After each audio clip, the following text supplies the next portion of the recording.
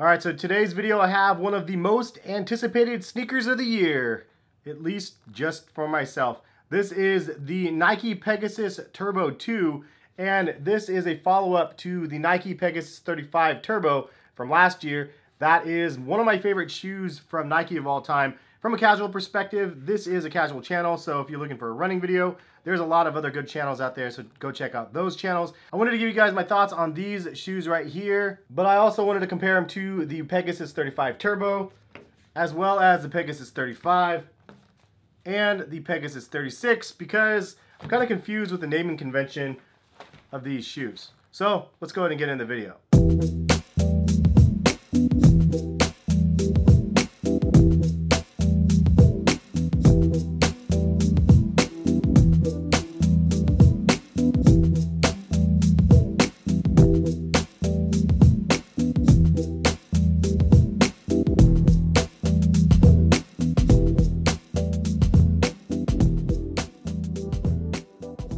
Going on guys, Hes here, CollectiveKicks.com. If you guys want to shop this week's top sneaker deals, check the link in the description and happy shopping. If you guys want to buy the Pegasus Turbo 2 or some of the other shoes out here, check the link in the description as well. In this video though, I want to give you guys a look at the Pegasus Turbo 2 and um, some of the things that I really like about the shoes, some of the things that I think they could have done better. But um, ultimately, I just want to give you guys my thoughts. And if you guys have a difference in opinion, which is bound to happen, go ahead and leave a comment in the comment section and let everybody else know uh, what you think. So this shoe is an updated version of the Pegasus Turbo. A couple things that they mention on Nike's website that it's a sleeker look.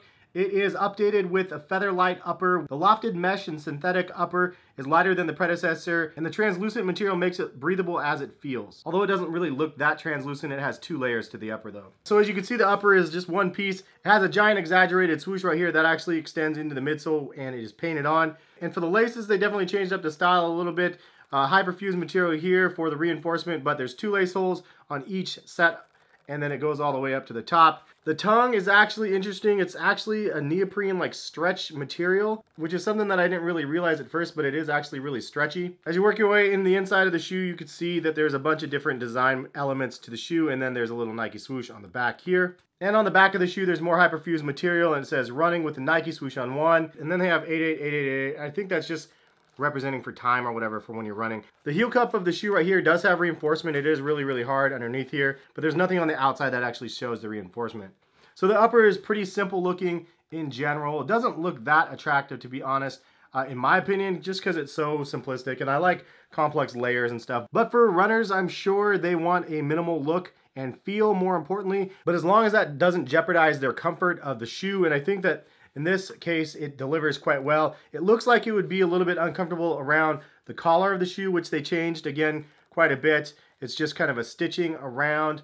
And then also on the tongue, they changed that quite a bit also from the first one. It's very, very thin and flimsy. And then there's a little bit of reinforcement back on the inside of the shoe. So not a ton of cushioning on the inside. If you like that extra cushioning from the Pegasus 1, they definitely minimalized it a ton on this one. So I need to wear these a lot more to see if it impacts the feel from the first one, but again, it is a lot more minimal than the first one. So one of the things that I wanted to look at is a comparison between the 35, 35 Turbo, 36, and then the Pegasus Turbo 2. So they changed the naming convention. This was actually called the Pegasus 35 Turbo, and then this one is actually just the Pegasus Turbo 2. So they removed the 35 from this one, and they also didn't call it the 36. And truth be told, it doesn't really look like the 36. Like there is one element that they brought over, which is the tongue, but obviously the collar of the shoe and the back tab are completely different on the Pegasus Turbo 2 versus the Pegasus 36. So I think that's why they went away with it. And honestly, it didn't really make any sense. When they called this the 35 Turbo, it just didn't really work for me either because it looked like the 35 for the most part. Same back section in a sense, Obviously the design in the back was different and then the tongue shape was totally different as well. The padding was pretty much similar and the lockdown was somewhat similar but more reinforcement on the actual Pegasus 35s than the 35 turbos as you can see with the flywire. And then the material on the upper was completely different and you have the oversized swoosh on the 35 turbo and the other one did not have that. Um, so I don't know, they should have just actually called this the Pegasus uh, Turbo. They shouldn't have called it the 35 in my opinion and then it wouldn't have been as confusing when they release the next one. Sometimes I don't think that Nike really thinks long term when it comes to naming convention and how confusing it is to the consumer market, at least for the mass consumers out there like myself. But maybe for everybody else, it's not a big deal. Leave a comment and let me know how you feel. Speaking of confusing though, this actually says Nike Zoom X on it, but you can see the white section down here is actually Nike React. The top section here in the lime color is actually the Zoom X. So for those that didn't know, they have a dual density foam system on the Pegasus Turbo, and it has the Zoom X on top the React on the bottom, and the combination between the two is ridiculously good on feet. The downside from the very first pair was the Widow's Peak back here had a lot of problems. There was a lot of separation uh, between the pair. And unfortunately, that's something we're going to see going into the next pair no matter what. So you can see, obviously, the midsole looks very, very similar. And then the outsole traction pattern looks exactly the same as well. But I will say one thing that they did change that it took me a minute to realize until I actually had these both hand in hand Look at the width of the shoe. The Pegasus Turbo 1 is actually wider in the back section than the Pegasus Turbo 2. Somebody like myself, I definitely prefer the Pegasus 1 because I like the wider feel on feet. I, I will say I don't notice it a ton on feet uh, in the back section of the shoe and the, the front of the section is wide enough for my foot that I'm happy there, but I don't like that they took the width away from the shoe. The other thing that I found kind of interesting is if you look at the back of the Widow's Peak, it looks like the Pegasus Turbo 1 actually goes up more versus the Pegasus Turbo 2. And I don't know necessarily why, but it definitely arcs up higher on uh, the first pair than the second one.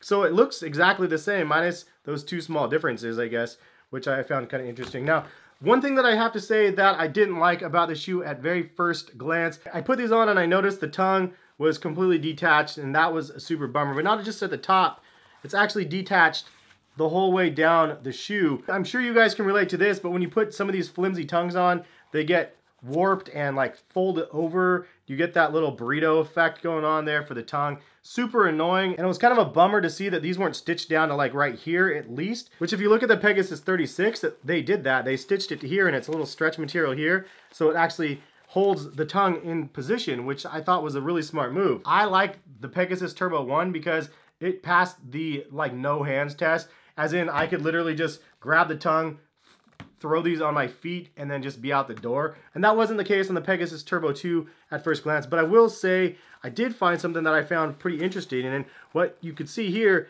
is you can actually take the lace and go through the tongue to hold the position of the tongue. So when I did that, I was like, oh, this isn't actually that bad. It actually does hold somewhat of the shape in the position that you would want on the tongue. So in a sense, you use the laces, and there's actually two different holes down here on the tongue that you could poke the lace through and actually use to have the tongue stay in place. So for those that have the same problems as myself, go ahead and do this lacing. It makes a world of difference to push it through the tongue and then wrap it back through and then have the regular lacing. And then after that, I was like, okay, it's forgivable. Whatever they did to the tongue is forgivable because it feels good. It's soft, it's neoprene, it's light, um, and I can actually put it on pretty easily now with the adjustment. So I wanted to point that out for those people that um, have that problem. But other than that, like this shoe is incredible. It's still amazing on feet. It's so soft and comfortable. And the crazy thing is I tried these on immediately after I did my video review of the Air Max 270 React, which if you haven't seen, check my channel.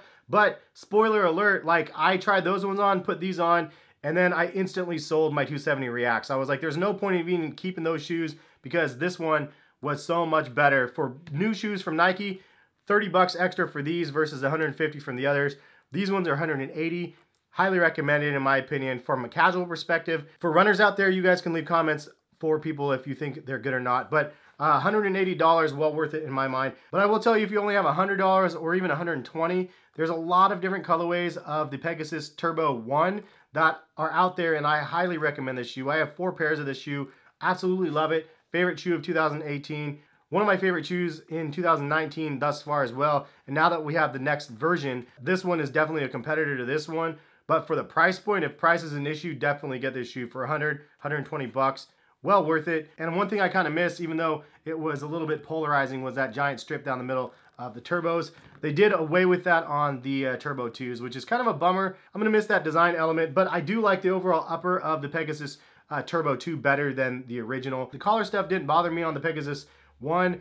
Personally, I prefer the tongue of the Pegasus 1. I like the extra cushioning uh, on the shoe for myself. But again, I'm the casual lifestyle dude. That kind of wraps up my thoughts on the Pegasus Turbo 2. What do you guys think about the new model? Are you guys waiting for other colorways? Do you guys not like the pattern? I know that this colorway is really bright, but once I put them on feet, I was like totally sold. It reminded me of that feeling of putting on my very first pair of Prestos back in the day. It was just such a great feeling to get a really comfortable shoe that kind of stood out from the crowd um, and is just an all-around great engineered shoe, which is what you have with this Pegasus Turbo 2. But that's my thoughts on the shoe. Leave some comments what do you guys think. And if you guys are new to the channel, I do a lot of sneaker reviews like these, and you can go ahead and subscribe. It's free to do.